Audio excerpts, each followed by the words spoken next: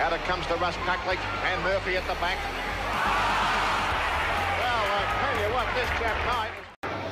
Kicks it in towards centre half for plenty of horses. Oh!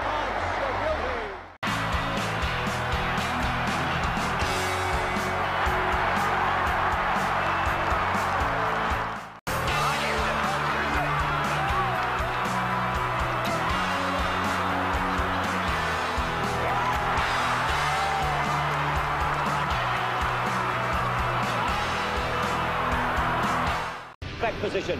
And a good mark taken over the top by Peter Knight. It gets it to Keogh. Keogh into the forward zone, tangled by Kennedy.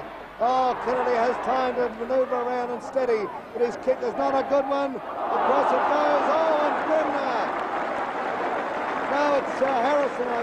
No, Knights. I've got it right. It's in this one. Oh, Peter oh,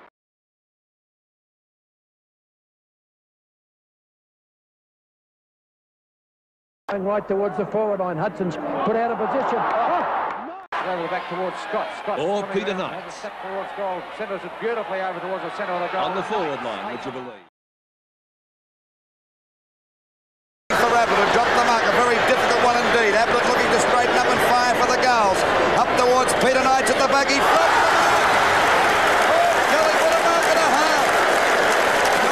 when we've got Michael McCarthy and Norm Goss, two very fresh players on the bench. There's that David Parkin, look at that magnificent mark by, by Knights, but I'm surprised that David Parkin doesn't swing those two fresh players.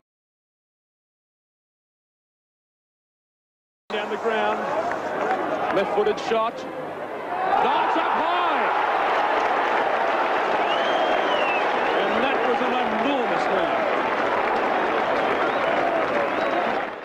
Part of the Hawthorn Young Brigade. Knights.